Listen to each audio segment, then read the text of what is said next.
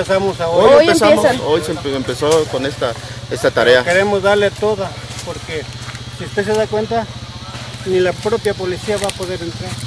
A como está, no entra la policía. ¿Cuál es su nombre?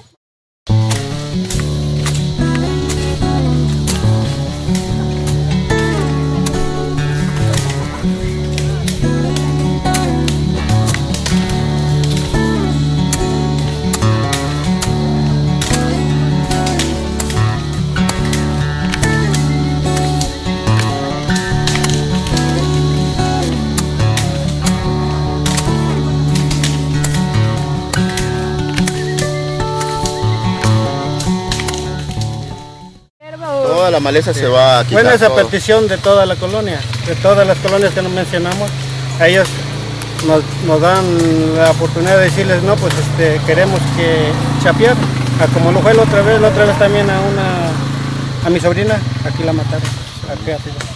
Y también entre todos los vecinos chapeamos el monte.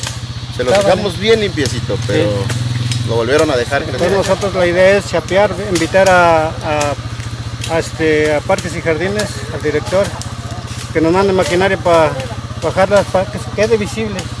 Pueda uno ver quién anda allá, quién anda acá, quién anda acá. Aquí, aquí en esta colonia, ahí encontraron muerta a una, acá arriba otra, y ahorita la señora de allá. O claro sea- que en la colonia Veracruz, entre la colonia Veracruz y aquí, ya van seis muertes. Entonces la verdad invitamos al gobierno del estado que que nos ayude, que nos diga si no quieren ellos hacer nada en el monte, que nos venga, que manden a alguien para que nos, este, Que nos asesore. nos ap- asesore o los apoyen. y nosotros hacemos el parque, entradas para que la policía entre, los de caballo Aquí teníamos un campo de fútbol, Sí. nos lo quitaron. Esto era un campo de fútbol, había torneo de fútbol aquí y nos lo quitaron.